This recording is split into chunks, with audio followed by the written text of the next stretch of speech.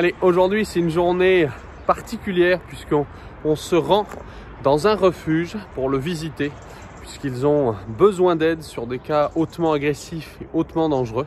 Donc on va rencontrer la responsable, on va rencontrer le refuge et surtout les chiens. Allez, on prend la Educ Dog mobile et c'est parti pour un peu de route.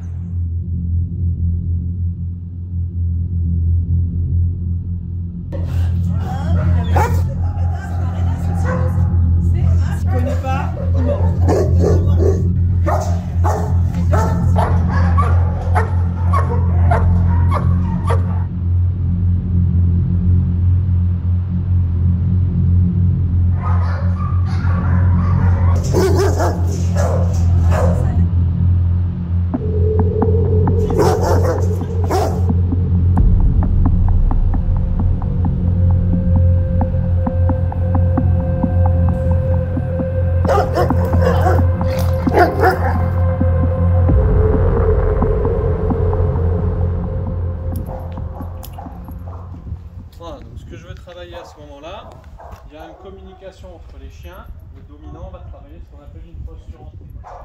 Va venir barrer la route d'un chien. Soit il ne bouge pas, soit il va lui demander de reculer. Là, j'ai des chiens, à peine où je mets ma pression avec la jambe, le chien me déclenche. Pourquoi? Il ne veut pas reculer. Chez les chiens, celui qui avance, c'est le dominant. Celui qui recule, c'est le dominant. Excellent. Donc, avec ça, j'apprends le chien à soumettre en fait. C'est juste un début.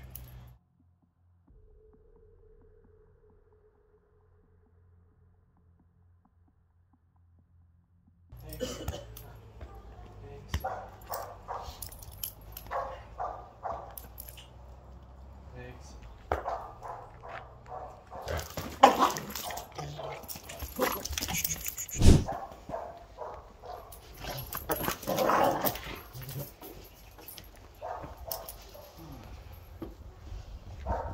En fait, moi, mon énergie doit être le plus calme possible. Je vais pas dire non, je vais pas crier, sinon je monte. Donc lui, qu'est-ce qu'il fait Il monte. Donc je dois être hyper posé en fait. Et dès, qu'il se fige, il monte. Vous avez vu Je le caresse d'un coup, il se bloque. boum. Bon, le torse avec. Hop,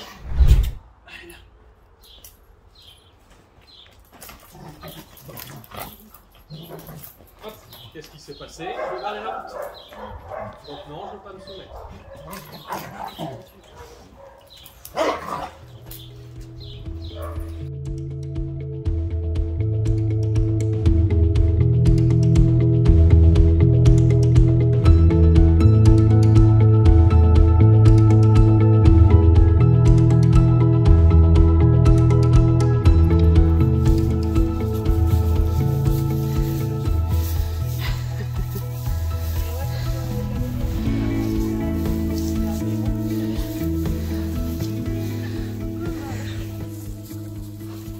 Allez, sois libre un peu. Donc la longe, en fait, c'est que. Ah, C'est clair, ah ouais. Le chien court après. Alors, fais gaffe à ma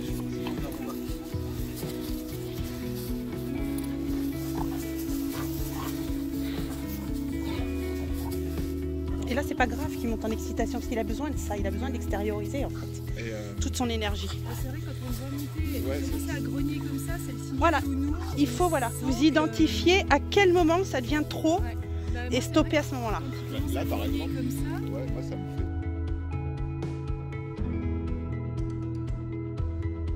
je suis moins.